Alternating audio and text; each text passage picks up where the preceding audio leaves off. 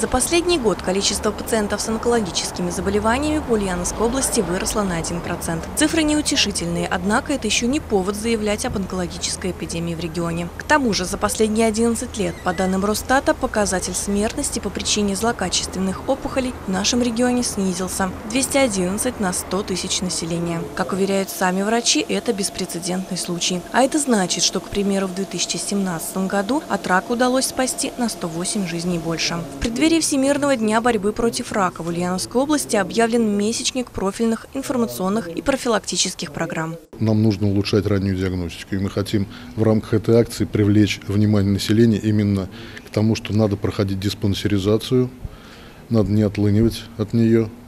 А медицинских работников мы будем призывать к тому, чтобы проводить диспансеризацию очень качественно.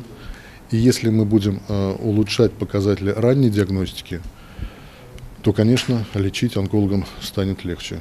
Помощь онкобольным в нашем регионе оказывают сразу в нескольких медицинских учреждениях. Но флагман в этом направлении – Ульяновский онкодиспансер. Только здесь оказывают все виды лечения для пациентов со злокачественными опухолями. Начиная от хирургического и лекарственного, заканчивая лучевой терапией. Лучевую диагностику в диспансере ежедневно проходит 130 человек. Основная нагрузка ложится вот на этот современный аппарат – линейный ускоритель электронов. Больница освоила его 5 лет назад. Лучевая терапия – это один из столпов онкологии, на которых держится успех лечения онкологического пациента. Это метод локального лечения.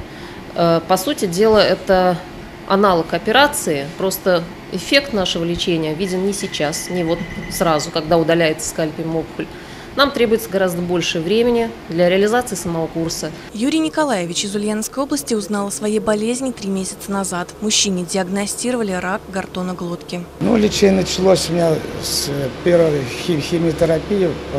Я проходил две химиотерапии. И вот сейчас уже на третью лучевую терапию прохожу. Как это ощущение? Ну, как ощущение? Как говорится, болезни все Ничего хорошего нет, но все, ну, нормальное ощущение. Так-то ничто больно такого нет.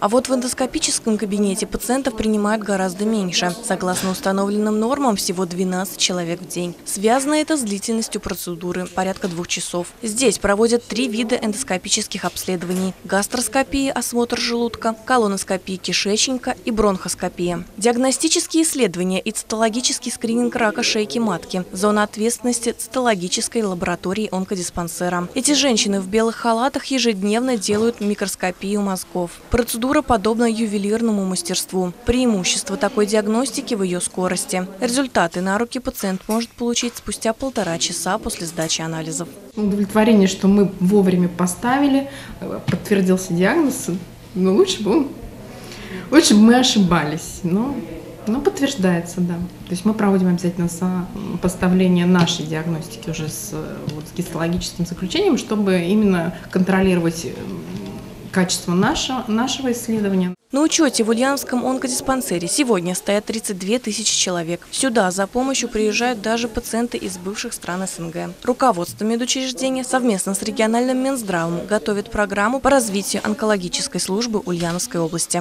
Значит, реструктуризацию, например, коечного фонда под современные настоящие нужды. Вот. Реструктуризация она требует значит, э, перепрофилирование отделений. Второй этап, который мы планируем, значит, у нас, значит, мы собираемся улучшить условия содержания и расширить дневной стационар по лекарственной терапии. Программа предусмотрит строительство и новых помещений, в частности, многоэтажного корпуса, куда планируется перевести все хирургические службы диспансера. Рената Алиулова, Руслан Баталов. Новости Ульянской правды.